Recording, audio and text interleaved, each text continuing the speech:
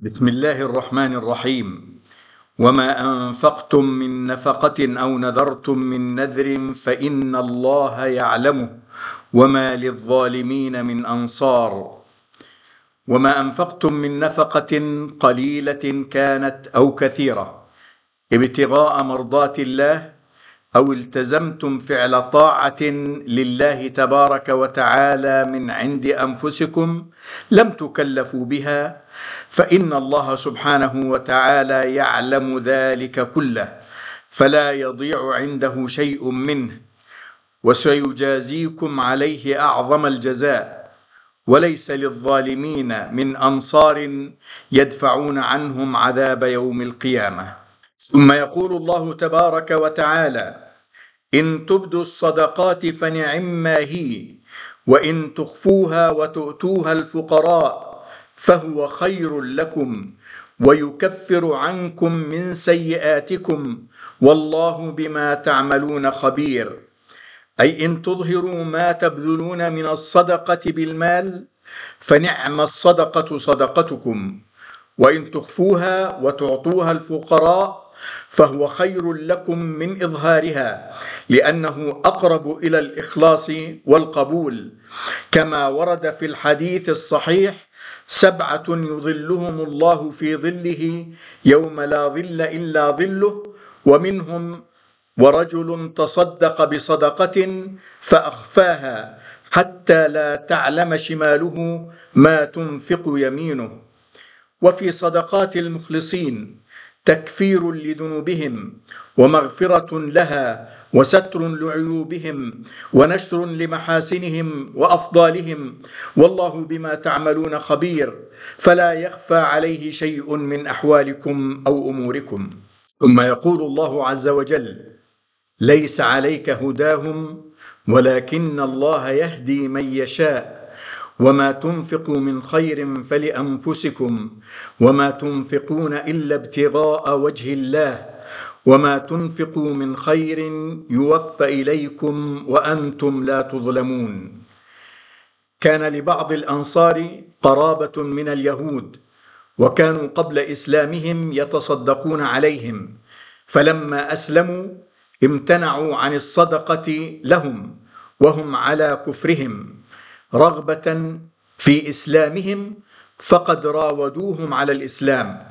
فنزلت الآية الكريمة ليس عليك هداهم ولكن الله يهدي من يشاء وقد قال الله تبارك وتعالى لا إكراه في الدين وقال جل شأنه أفأنت تكره الناس حتى يكونوا مؤمنين؟ قل إن الهدى هدى الله فلتكن صدقتك عليهم خالصة لله عز وجل. والمقصود بالصدقة هنا هي صدقة التطوع لعدم جواز دفع الزكاة لغير المسلم كما أن مردود الأجر والثواب من هذه الصدقة على صاحبها المنفق لها والمتصدق بها. ثم يقول الله تبارك وتعالى للفقراء الذين أحصروا في سبيل الله لا يستطيعون ضربا في الأرض يحسبهم الجاهل أغنياء من التعفف تعرفهم بسيماهم لا يسألون الناس إلحافا وما تنفق من خير فإن الله به عليم. بعد أن حض الله عز وجل في الآية السابقة على الصدقة والإنفاق في سبيل الله تبارك وتعالى بين جل وعلا أن هذه الصدقة تكون للفقراء الذين أحصرهم الفقر وتقطعت بهم الأسباب وهم المهاجرون إلى المدينة لا يستطيعون سفرا لطلب الرزق.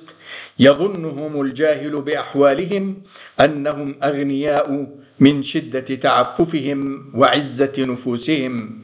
وما تنفقوا من خير فإن الله به عليم. أي إن الله يعلم نفقاتكم. أي أن الله يعلم نفقاتكم ويقبل صدقاتكم.